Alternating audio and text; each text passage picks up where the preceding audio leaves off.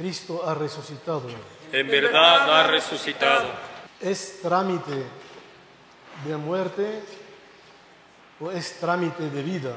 Durante este tiempo pascual, después de la fiesta de la resurrección de Cristo, la iglesia durante 40 días nos coloca en el ambiente de la resurrección de Cristo. Y hoy, en el segundo domingo después de la resurrección, nos comenta el momento en el que primero José de Arimatea baja el cuerpo de la cruz y lo coloca en un sepulcro nuevo.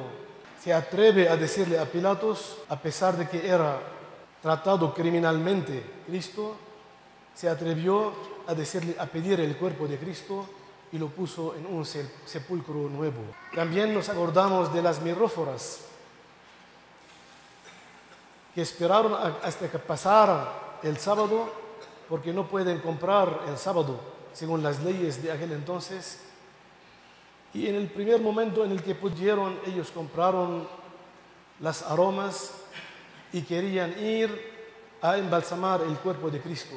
No podían hacerlo en la noche, esperaron los primeros rayos de luz para ir para embalsamar el cuerpo del sepultado. Todo lo que hicieron José de Arimatea y lo que hicieron las miróforas son trámites que todos nosotros hacemos, trámites de muerte. Cuando alguien muere, algún familiar nuestro, recurrimos para hacerle una buena sepultura, para embalsamar su cuerpo.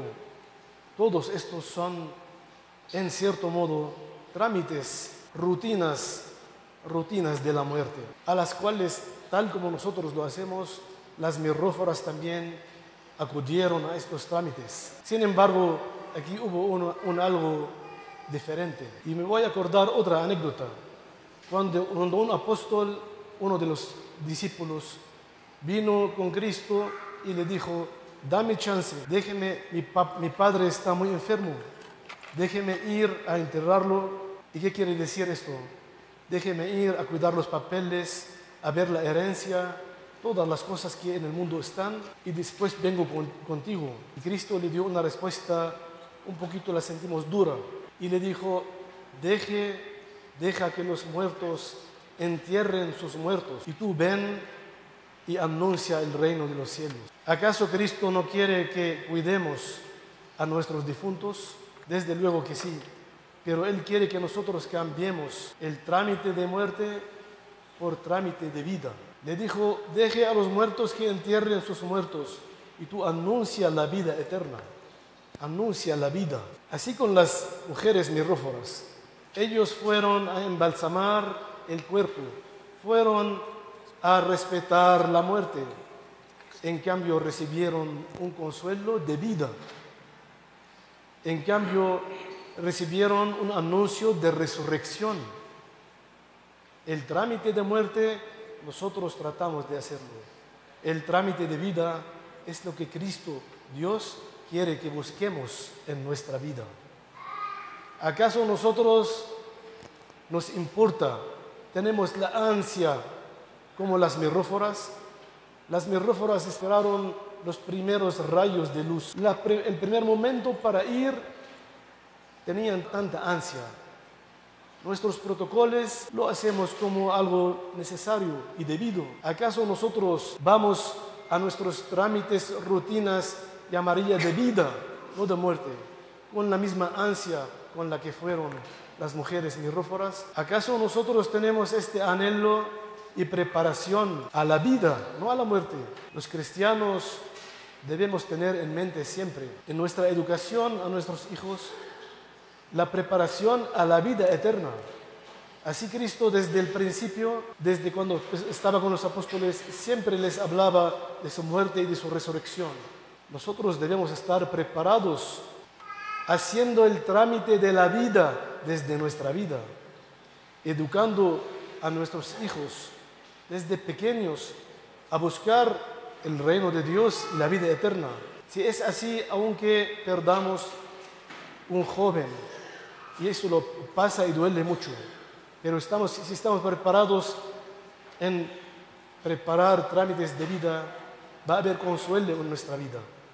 En cambio, si nada más el trámite es algo momentáneo que hacemos cuando alguien fallece, entonces este trámite va a seguir siempre trámite de muerte. Nosotros tenemos la dicha, la dicha de que es un protocolo de vida. La iglesia en este tiempo de la resurrección nos recuerde a empezar a trabajar estos trámites de la vida, en nuestra vida. Porque si la iglesia no es lugar para tramitar por la vida, vuelve como parte, protocolo de, nuestro, de nuestros trámites de muerte. Y nosotros no queremos que eso sea para ustedes ni para nosotros. Y decimos con mucha confianza y con mucha seguridad y con mucho consuelo, Cristo ha resucitado. En verdad ha resucitado. Entonces, nuestros trámites de muerte y los trámites de muerte de las miróforas vuelven trámites de vida. Cristo ha resucitado. En verdad ha resucitado. Toda nuestra vida es una preparación para el momento de la vida. Cristo ha resucitado. En verdad ha resucitado. No perdamos el tiempo en enterrar nuestros muertos, mas busquemos con ellos la vida eterna. Amén.